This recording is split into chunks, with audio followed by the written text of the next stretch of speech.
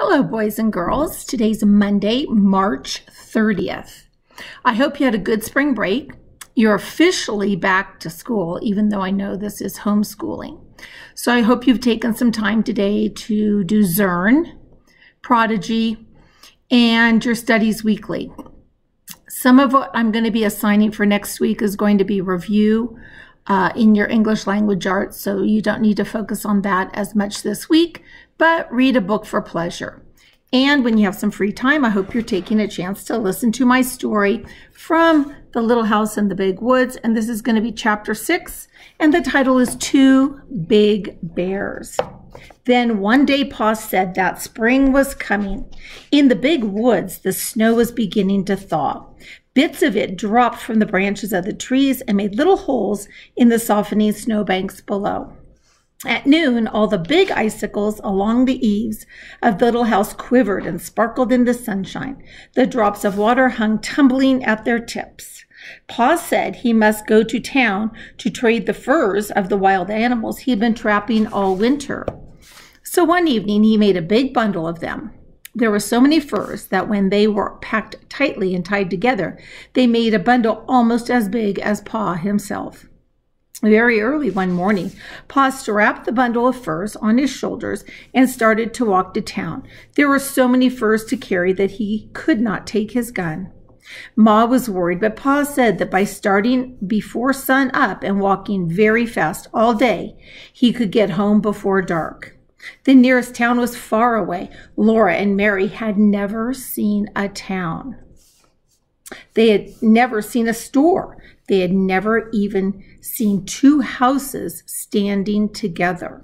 But they knew in the town there were many houses and a store full of candy and calico fabric and all kinds of other wonderful things powder and shot and salt and some store sugar.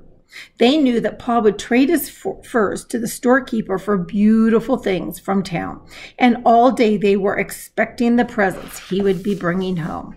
Then the sun sank low above the treetops, and no more drops fell from the tips of the icicles, and they began to watch eagerly for Pa.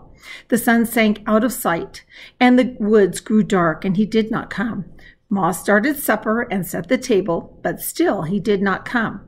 It was time to do chores, and still he had not come. Ma said that Laura might come with her while she milked the cow. Laura could carry the lantern. So Laura put on her coat and Ma buttoned it. And Laura Laura put her hands into her red mittens that hung by the red yarn string around her neck, while Ma lit the candle in the lantern.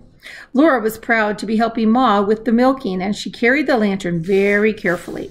Its sides were of tin, and in places cut with places cut in them for the candle light to shine through. When Laura walked behind Ma to the on the path to the barn, little bits of candle light from the lantern leapt all about her in the snow. The night was not quite dark. The woods were dark, but there was a gray light on the snowy path, and in the sky there were a few faint stars. The stars did not look as warm and bright as the little lights that came from her lantern. Laura was surprised to see the dark shape of Suki, the brown cow, standing in the barnyard gate. Ma was surprised too. It was too early in the spring for Suki to be let out in the of, in the big woods to eat grass. She lived in the barn. But sometimes on warm days, Pa left her out in her stall open so she could come into the barnyard. Now Ma and Laura saw behind uh, the bars waiting for them. Ma went up to the gate and pushed against it to open it, but it did not open very far because there was Suki standing against it. Ma said, Suki, get over. She reached across the gate and slapped Suki's shoulder. Just then, of the dancing little bits of light from the lantern jumped between the bars of the gate, and Laura saw a long, shaggy, black fur, two little glittery eyes. Suki had thin, short, brown hair. Suki had large, gentle eyes. Ma said Laura walked back to the house. So Laura turned around and began to walk towards the house. Ma came behind her. Here's a picture. Uh-oh, what did they find? It wasn't Suki. Ma snatched her up, lantern and all, and ran. Ma ran with her into the house and slammed the door. Then Laura said, Ma, was it a bear? Yes, Laura Ma said, it was a bear. Laura began to cry. She hung on to Ma and sobbed, Oh, will he eat Suki? No, Ma said, hugging her. Suki is safe in the barn. Think, Laura. All those big heavy logs and the, in the barn walls, and the door is heavy and solid, made to keep bears out. No, the bear cannot get in to eat Suki. Laura felt better then, but he could have hurt us, couldn't he? She said. He didn't hurt us, Ma said, and you're a good girl, Laura, to do exactly what I told you to do, and to do it so quickly without asking why. Ma was trembling and she began to laugh a little too. Think, she said, I've slapped a bear. Then she put supper on the table for Laura and Mary, and Pa had not yet come. He didn't come. Laura and Mary were undressed and they said their prayers and they snuggled into their trundle bed. Ma sat by the lamp mending one of Pa's shirts. The house seemed cold and still and strange without Pa. Laura listened to the wind in the big woods. All around the house, the wind kept, went crying as though it were lost in the dark with the cold. The wind sounded frightened. Ma finished mending the shirt. Laura saw her fold it slowly and carefully. She smoothed it with her hand. Then she did a thing that she had never done before. She went to the door and she pulled the leather latch string through its hole in the door so that nobody could get in from outside unless she lifted the latch. She came and took Carrie, all limp and sleeping, out of her big bed. She saw that Laura and Mary were still awake, and she said to them, Go to sleep, girls. Everything is all right. Pa will be here in the morning. Then she went back to her rocking chair and she sat there rocking gently and holding baby Carrie in her arms. She was sitting up late waiting for Pa, and Laura and Mary meant to stay awake too till he came. But at last they were asleep. In the morning, Pa was there. He had brought candy for Laura and Mary and two pieces of pretty calico fabric to make them each a dress. Mary's was china blue pattern on a white background, and Laura's was dark red with little golden brown dots on it. Ma had a calico dress, calico for a dress too. It was brown with big feathery white pattern all over it. They were all happy because Pa had got such good prices for his fur that he could afford to get them each beautiful presents. The tracks of the big bear were all around the barn, and there were marks of his claws on the walls, but Suki and the horses were safe inside. All that day the sun shone, and the snow melted, and the little streams of water ran from the icicles, which all the time grew thinner. Before the sun set that night, the bear tracks were only shapeless marks in the wet, soft snow. After supper, Pa took Laura and Mary on his knees and he said he had a news story to tell them. The news story was the story of Pa and the bear in the way. When I went to town yesterday with the furs, I found it hard walking in the soft snow. It took me a long time to get to town, and the other man, men with furs had come in earlier to do their trading.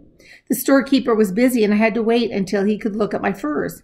Then we had to bargain about the price of each one, and then I had to pick out things I wanted to take in trade. Ooh, that's like bartering. Do you remember when we read the story about bartering? So it was nearly sundown when I could start home.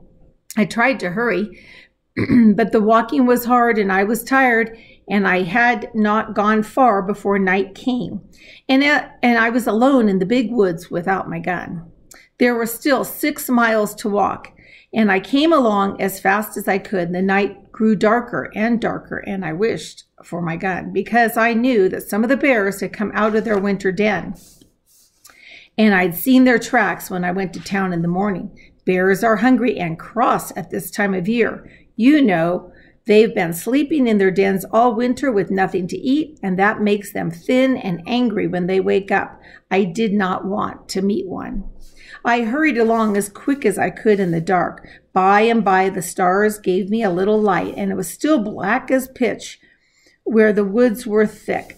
But in the open places I could see dimly, and I could see the snowy road ahead a little way, and I could see the dark woods standing all around me. I was glad when I came into the open place where the stars gave me this faint light. All the time I was watching as well as I could for bears. I was listening for the sounds they make when they go carelessly through the bushes. Then I came again into my open place. There, right in the middle of my road, I saw a big black bear. He was standing up on his hind legs looking at me. I could see his eyes shine. I could see his pig snout. I could see one of his claws in the starlight. My scalp prickled and my hair stood straight up. I stopped in my tracks and I stood still. The bear did not move. There he stood looking at me. I knew uh, it would do no good to try and go around him. He would follow me into the dark woods where he could see better than I could, and I did not want to fight a winter starved bear in the dark. Oh, how I wished for my gun.